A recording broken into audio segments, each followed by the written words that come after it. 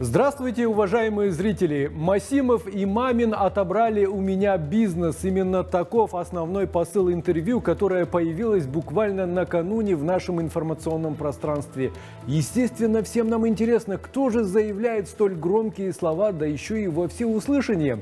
А это никто иной, как Анатолий Балушкин, глава группы компании БИПЭК «Автоазия Авто». В своем интервью, которое он дал одному российскому изданию, Балушкин прямо обвиняет в своих бедах бывших и нынешних высокопоставленных чиновников, среди которых и экс-глава КМБ Карим Масимов.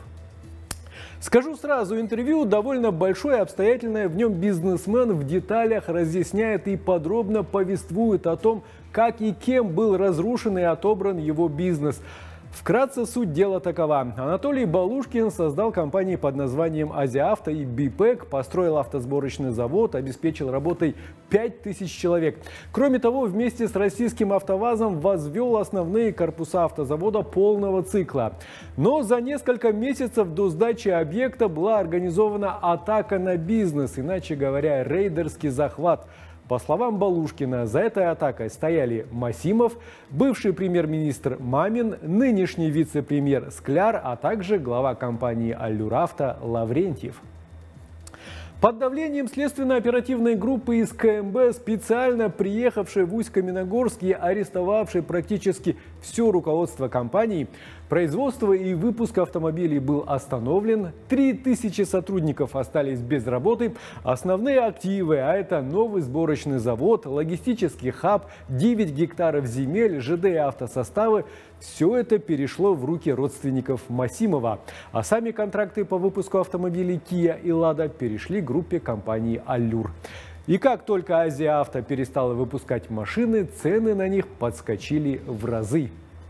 Вот такой вот основной смысл интервью Анатолия Балушкина. Я не берусь судить, подтверждать или опровергать данные слова. Не было ни одного судебного заседания по этому делу, нет никаких решений или вердиктов.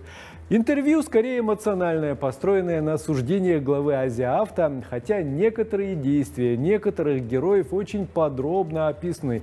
Я бы даже сказал правдоподобно.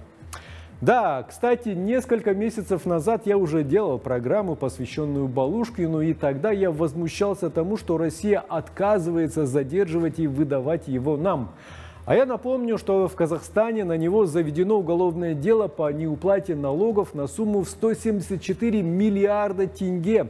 Это те деньги, что государство дало заводу «Азиавто» в виде освобождения от таможенных платежей и возврата утилизационного сбора. И когда наши госорганы попросили его вернуть эти деньги в казну, Балушкин подался в бега. Правда, убежал недалеко, а в соседнюю Россию. Оказывается, у него был российский паспорт, и на этом основании российская прокуратура отказалась его задерживать. В общем, если вкратце, такова суть этого непростого и запутанного дела. Да, ну и что же еще было в этом скандальном и нашумевшем интервью Балушкина? В нем виновников своих бед он назвал рэкетирами и преступниками, превратившими Казахстан в свое ТО и ежечасно переписывающими законы на свое усмотрение. И предлагает всем встретиться в суде.